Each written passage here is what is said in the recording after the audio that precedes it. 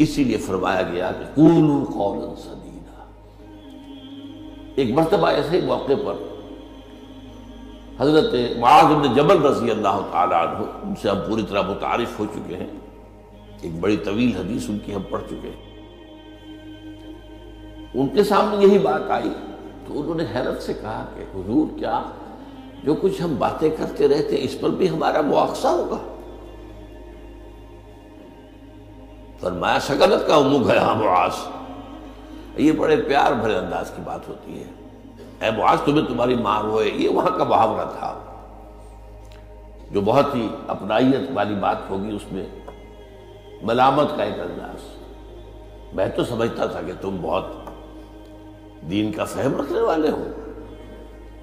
इसके बाद आपने फरमाया लोगों को जहन्नम में मुँह के बल गिराने वाली चीज़ सबसे ज़्यादा जबान की खेतियाँ हैं। हसाइदो अलसनतिकु जबान से जो लफ्ज निकलता है, वो एक बीज बनकर आखिरत की सरजमीन में बोया जाता है। अब अगर बुरा है तो कांटेदार पौधा उससे निकलेगा। झाड़ झकाड़ और ये तुम्हें जाकर फिर काटना होगा क्यामत के अंदर। हसाइद इसको कहते हैं खेती का काटना नहीं होता। हब्बल हसीद दो किस्म की नबातात ज़मीन पर हैं। एक तो वो जो पौधा और दरख्त मौजूद रहता है, फल आप उतार लेते हैं। अगले साल फिर फल आ गया, पौधा वही का वही और एक वो फ़सल होती है, गंदुम की है, चावल की है, गन्ने की, वो आपने काट ली। उसको कहते हैं हसीद हसाइद अल तुम्हारे जबानों की बोई हुई जो खेतियाँ हैं, सबसे बढ़कर जहन्नम में गिराने वाली शे वो है। इसी में बल्कि एक जरा और हदीस भी है, जरा उसमें हया का पहलू माने होता है बयान करने में। लेकिन हदीस नबी है, हिकमत का बहुत बड़ा खजाना है। आपने फरमाया, मुसलमानों, मुझे तुम दो बातों की जमानत दे दो। कि तुम्हारे दो उज्व जो बहुत ही छोटे छोटे से उनका गलत इस्तेमाल नहीं होगा। जन्नत की जमानत मैं देता हूँ। अब देखिए, कोई दो मन वज़न है, डेढ़ मन है, दो मन से भी जायद है, तब उसमें दो उज्व है, एक जबान और एक शर्मगाह। इन दो की जमानत मुझे दे दो कि इनका गलत इस्तेमाल नहीं होगा।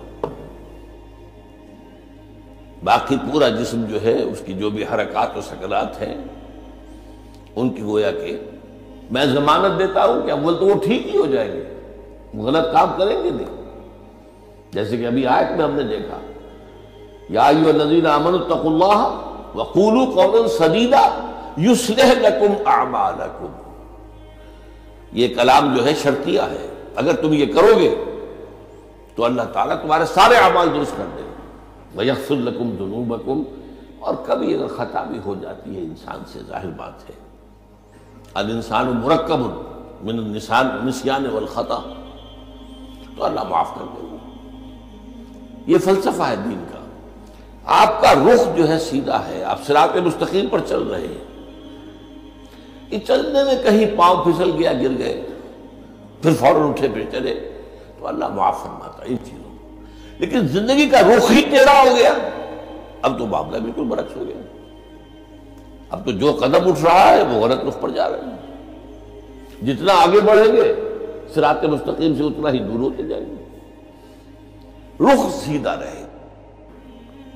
अल्लाह के अहकाम और उसके रसूल की सुनत इस पर रुख पे आदमी चल रहा है।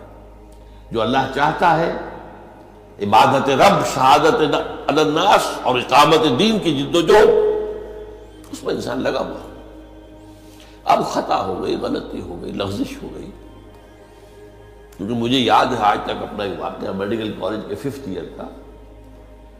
बड़ा देर हो गई थी, फ़र्स्ट लेक्चर हमारा होता था, जो सर्जरी का, डॉक्टर अमीरुद्दीन, वो बड़े सख्त थे।